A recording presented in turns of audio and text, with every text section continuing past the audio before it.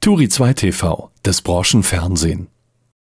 Meinolf Ellers ist seit 15 Jahren Geschäftsführer der DPA Infocom und mir ist neulich ein alter Kressreport in die Hand gefallen. Startups äh, war das Thema des Sonderhefts und ich fand, man konnte das Heft äh, nochmal genau so drucken. Hat sich eigentlich in den 15 Jahren gar nichts getan?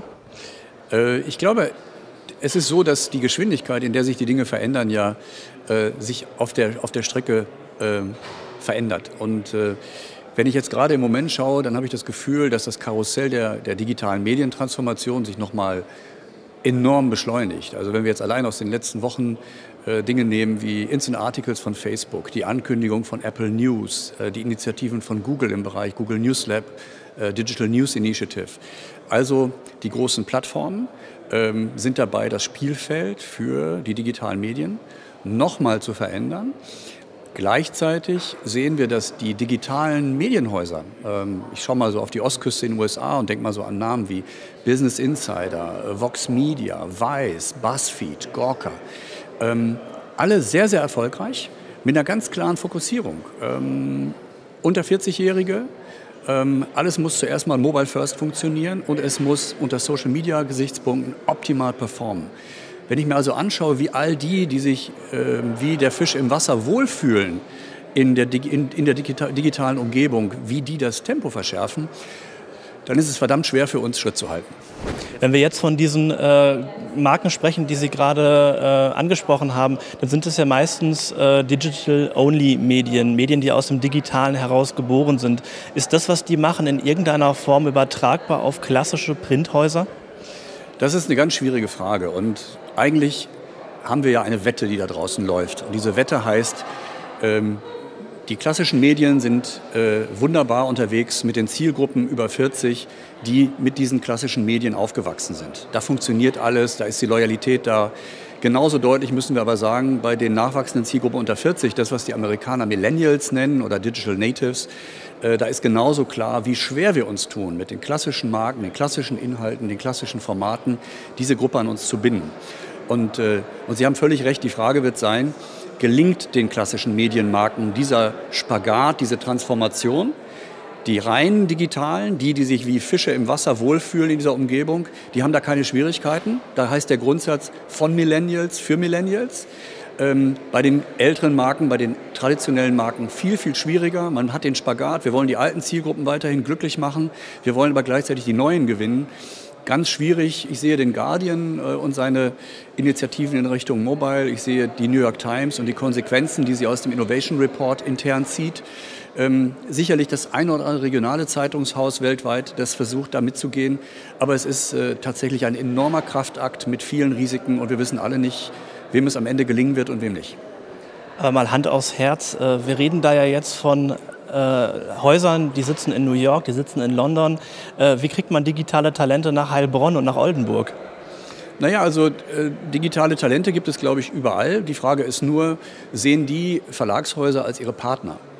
Und das ist ja eine, einer der Gründe, warum wir als DPA den Next Media Accelerator gestartet haben, weil es ein Versuch ist, dass wir äh, tatsächlich versuchen, äh, nicht zu sagen, die müssen zu uns kommen, sondern wir wollen direkt rein in die Szene und wollen denen, die Gründungsideen rund um mediennahe Themen haben, wir wollen denen ein Angebot machen. Wir wollen die frühzeitig, wir wollen von ihnen lernen, wir wollen mit ihnen auf Augenhöhe äh, kooperieren und wir hoffen natürlich, dass unsere Investoren, also Medienhäuser, dass äh, die viele Impulse von diesen Startups bekommen für diese vorhin geschilderte so extrem schwierige digitale Transformation, die man von innen heraus mit den bestehenden Organisationen und mit den bestehenden Leuten vermutlich nicht hinbekommen kann.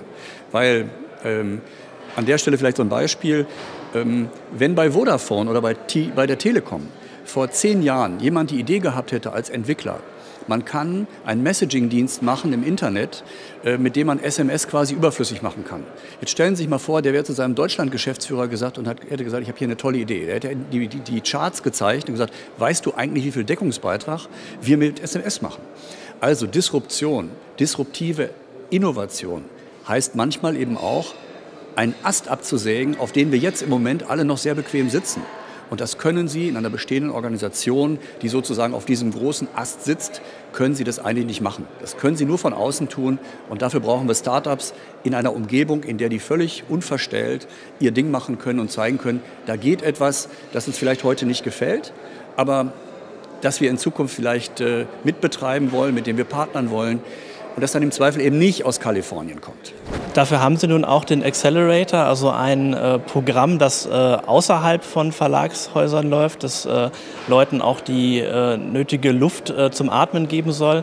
Ähm, kriegen Sie da wirklich äh, genug Talente ran, die in den Medien was gründen wollen? Weil die Leute könnten ja auch im Online-Shopping was machen, die Leute könnten in ganz anderen digitalen Bereichen viel bewegen. Also wir sind überzeugt und alle Indikatoren, die wir auch in der, in der Digitalszene weltweit sehen, deuten darauf hin. Ähm, die Faszination für Information, für Inhalte ist ja ungebrochen. Die Menschen konsumieren mehr Inhalte denn je. Ähm, die, der Zugang zur Information ist größer denn je. Das, was man da New Storytelling nennt beispielsweise, das sind so Dinge, da haben wir den Eindruck, dass äh, das immer noch viele, viele talentierte junge Menschen weltweit fesselt, aber die wollen anders rangehen, als sie es in einem etablierten Medienhaus äh, tun können. In diesen etablierten Medienhäusern treffen die da auf äh, Strukturen, die sie irgendwie reizen oder treffen sie da auf verkrustete, ähm, althergebrachte Hierarchien? Ich denke, man kann schon sagen, dass, ähm, dass die etablierten Medienhäuser in ihrer großen Zahl die Notwendigkeit zur Transformation, zur digitalen Veränderung erkannt haben. Und überall verändern sich Strukturen, überall wird erkannt, wie wichtig es ist, dass man von den jungen Digitalen lernt und dass man sie als Partner auf Augenhöhe gewinnt. Ähm, und der Punkt ist aber nur, die Geschwindigkeit, in der das passiert, ist unendlich viel langsamer als die Geschwindigkeit, in der draußen die digitale Disruption passiert. Insofern glaube ich, werden Medienhäuser, genau wie wir es als DPA letztlich auch machen, nicht daran vorbeikommen, eine, eine Parallelstrategie zu fahren. Auf der einen Seite ähm, mit den Startups, mit den jungen Gründern äh, zu kooperieren, aber so, dass wir sie machen lassen. Auf der anderen Seite aber eben schauen, was können wir von ihnen lernen, um die, den Umbau in unseren Häusern zu beschleunigen. Beide Dinge müssen parallel nebeneinander funktionieren. Es ist sozusagen wie ein, wie ein Medienhaus der zwei Geschwindigkeiten, das man vorübergehend braucht.